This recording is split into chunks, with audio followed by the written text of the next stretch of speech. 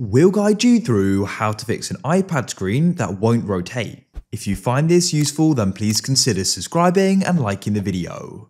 This problem can be really annoying because then you can't go and use it for certain things, so you've got some different fixes you can try. So to go and get started, head to the top right of your iPad, and what you want to try doing is dragging down on the battery to open the control center. In here you want to go and find the rotation lock. Go and click on it, you can see it's currently enabled, and then it will say it's rotation lock off, and now try rotating it, and hopefully that solves the problem.